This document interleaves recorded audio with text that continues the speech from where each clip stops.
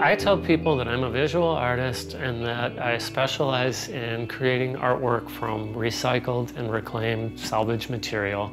When they ask me what does that mean, I tell them I build mosaics and I build collages. When they say, well, what's the style like? I tell them it's somewhere in between fine art and folk art. And they look at me puzzled, but they say, well, that sounds neat.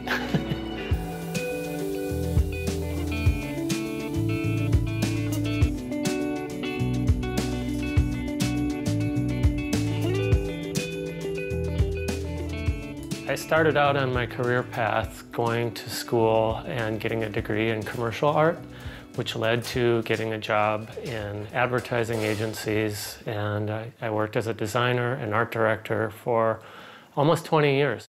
It started out as a hobby with my, uh, my son and I, when he was a little kid, we would spend uh, Saturday afternoons trying to think of projects to do together. We were having our breakfast in the morning, and I said, you know, we could take this cereal box and we could make a, a mosaic out of it. He said, let's do it. And we used an Apple Jacks box. We got it done, and he thought it was so neat. He loved as I cut up pieces, he'd sort out the colors, and we uh, abstractly laid the pieces in, and he looked at it and he said, it looks like a rabbit jumping out of a hole. And in an abstract way, I thought it really does. And that really was the moment when I realized it's like, well, if we could do an abstract rabbit out of a cereal box in an hour, what if I spent a whole day or a week working on a mosaic project made out of cereal boxes? And it clicked, and that's where it all started. I worked on a lot of packaged goods accounts, cereal and snack foods and soda, and consequently I always had an office full of packaging, and I realized that it would be a really fun medium to learn how to do mosaics with. I was a little intimidated with just diving in and trying to work with tile or glass, but paper packaging I had lots of, and um, I just started cutting up old boxes, and uh, that's kind of how I taught myself the basic techniques of doing mosaic and collage work.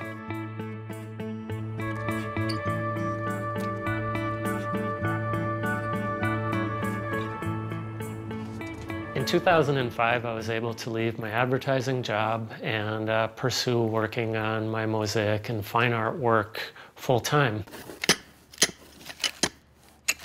When I'm sourcing my materials, most of the recycled, reclaimed, used stuff that I look for comes from thrift stores. One blue tile for 25 cents, but I'll take that. This is the Habitat for Humanity Restore in New Brighton. For tile, this is the best place to find it. It's kind of been my, my hidden secret. These were probably really expensive at one time. I don't have a project I can use them on right now. I wish I did. Um, somebody else is gonna find these and really luck out. A whole box of them for $25, that's a pretty good deal. My favorite kind of tile to work with is uh, porcelain or high fire tile. Now that I've been doing mosaic and collage work for the last 10, 15 years, I've got a pretty good collection of my own material, and in my basement, I almost have my own thrift store setup.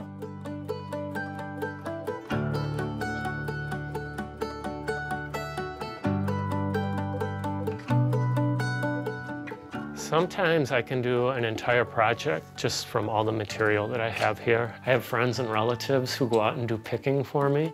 Occasionally people will give me old antique plates that they've had or been in their family collection and uh, they've gotten chipped or broken. Typically, instead of throwing them out, they usually ask me if I can use them and incorporate them into projects. And I just love it. And often clients will give me old dishware of theirs because it reminds them of a relative or family member, and I'll try to incorporate that into the actual design too.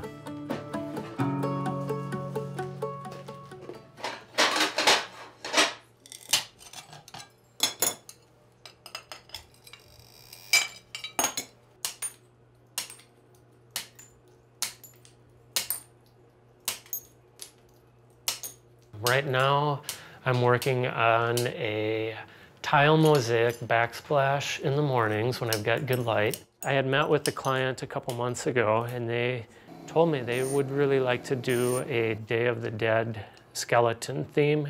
The first thing that I do is a pencil drawing. Once this was approved by the client, I took the pencil drawing of the artwork, brought it to a copy center and had an oversized black and white copy made. Took the copy, laid it down onto a piece of tile board, and using carbon paper, I transferred that design.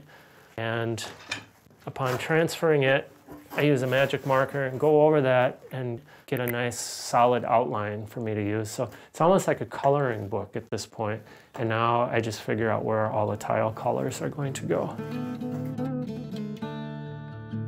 It's really fun for me when I find these interesting patterns, textures, words, to use them in a mosaic or collage, but to kind of hide them so that as the viewer sees the piece from a distance, they're drawn into trying to figure out what it's made of, or maybe they just like the, the design. But I think there's a real payoff when they go and they look at it up close and they see, well, this landscape that looks like there's a rainstorm going on. The rain isn't rain, it's barcodes off of paper packaging or tin packaging.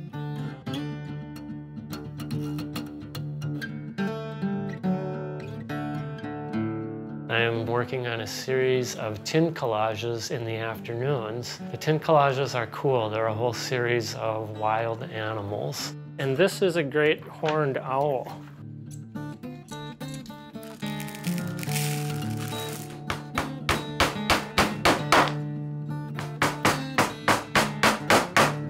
Lot of my tin work that I do comes from canisters that people were going to just throw in the recycling bin. And it's rewarding for me to know that rather than have somebody throw something out or just put it in recycling where it gets melted again, that I can turn it into a piece of artwork. And it's kind of cool because even the scraps that I don't use, then I in turn can put those in the recycling bin. And there's not much of a footprint left from any of the work that I do. I try to get the most usage out of everything.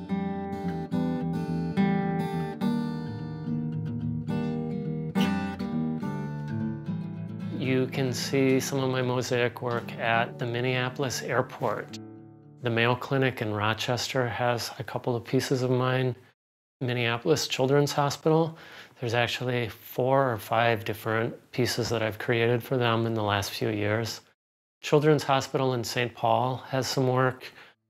When I do work for hospitals or schools or libraries, but at hospitals in particular, there's a sense of reward with it. Oftentimes the themes that I get to work on are, are pretty fun. You know, the artwork is meant to cheer people up in a kind of a tough situation. And so to create a piece of artwork that's designed to try to boost people's feelings and make them feel better, that's rewarding in itself. And occasionally I'll hear back, I'll get an email from somebody saying, you know, my husband was in the hospital or my grandmother was there and I was in a really bad mood and I walked out and I saw one of your mosaics and it made me feel so good.